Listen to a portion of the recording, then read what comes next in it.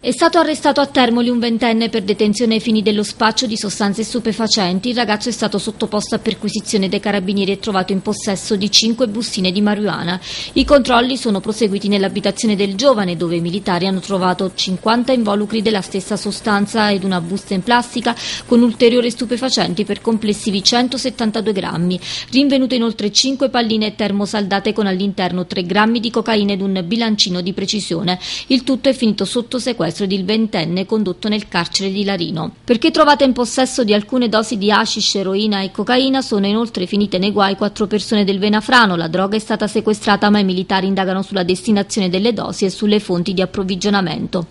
A Rio Nero Sannitico invece i carabinieri hanno denunciato per truffa aggravata un 55enne ed un 44enne entrambi di Piedimonte Matese. Si spacciavano per rappresentanti di un'associazione sportiva facendosi consegnare da alcuni cittadini 250 euro per l'organizzazione l'organizzazione e la partecipazione ad una gara di pesca, gara però inesistente.